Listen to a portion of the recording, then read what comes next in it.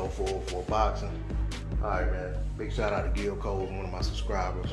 Um, my partners on YouTube always giving me a hard time. You know what I'm saying? We, we chop it up in the chat um, on, on a regular basis with other, on other channels and such.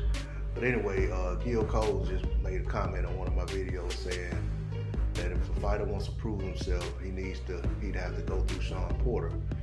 Um, and then he said, "Oh my," like something like "Oh my," that I just called Shawn Porter a gatekeeper. And you know the reality is that at this stage, Shawn Porter, he, he's still he's still a contender. He's worked his way up to being a top tier contender. Um, once again, um, and it basically was off the performance, off a losing performance. He gave uh, a good account of himself versus Errol.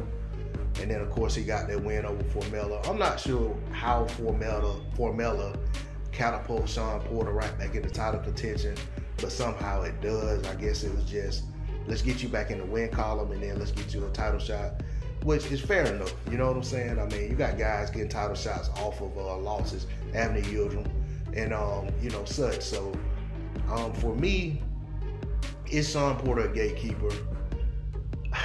In a way, yes, but at the same time, he's only like one fight away from potentially being a champion again or potentially being a title challenger.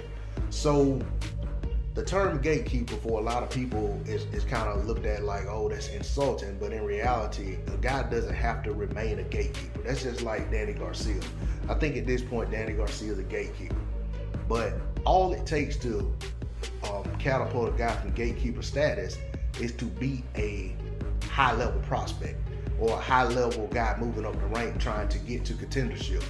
So if you look at a guy like Boots Ennis or Vergil Ortiz, if, if one of those guys were to fight a Danny Garcia or a Shawn Porter, or even say an Adrian Broner, and they lose, not only does that loss halt their progress, I feel like a win for that other guy proves him to be not just some guy that's holding the line, but a guy that's maybe better, has a, a more left than what people think he has.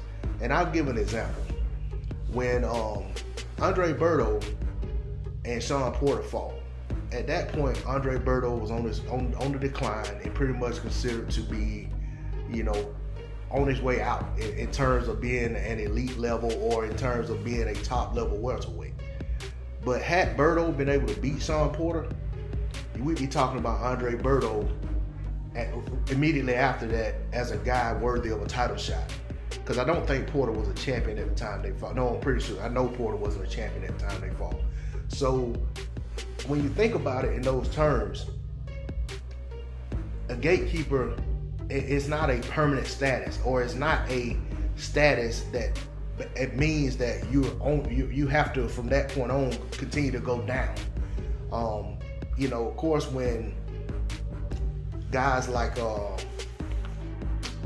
Shane Mosley reached gatekeeper status they didn't win the fights that they needed to win to propel themselves back into contendership and back to the top level. So he continued to drop down to where he just became like a stepping stone for guys who wanted to get a name on their resume um, over a guy that was pretty much a has been, um, a guy who was on his way to retirement.